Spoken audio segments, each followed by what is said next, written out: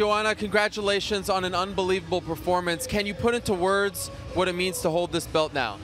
Like I said, I still cannot believe uh, this fight went so quick. I expect uh, five rounds because Carla was a, was a champion. She's a great fighter, but I did my best and I won, and I'm so happy. I was working so hard, tears, blood. Uh, every day I was so tired, but I did it. You know, every every day uh, I was like a hard worker. So that's why I'm here. You were so confident going into the fight, but I'm wondering, did you really think you would dominate her like that? Uh, yes and no.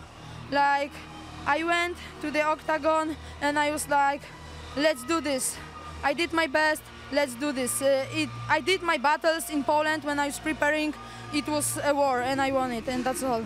Did you watch her before the fight? She was not making a, a, like a single movement. She didn't move her body. She didn't smile. She didn't enjoy the moment. You were enjoying the moment. When you saw that, what did you think?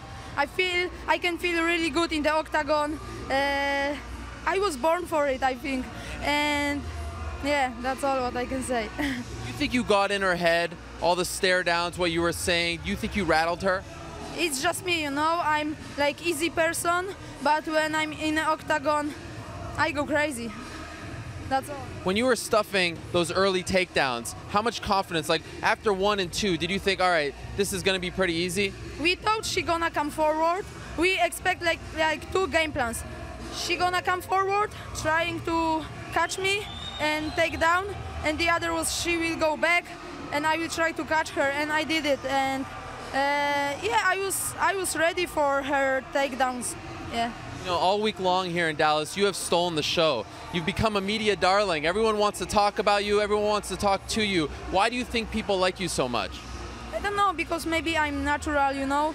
When I'm behind the camera, I'm like acting normally, you know. It's me, just funny Joanna from Poland, and that's all. What do you think they're doing in Polska right now? How are they celebrating? What do you think it's like? Like it's pretty, like uh, early in the morning, and I think they they go crazy, you know. Like yeah.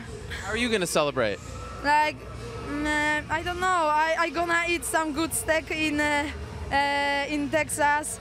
Uh, I gonna do some shopping, and on Tuesday I'm going back to Poland.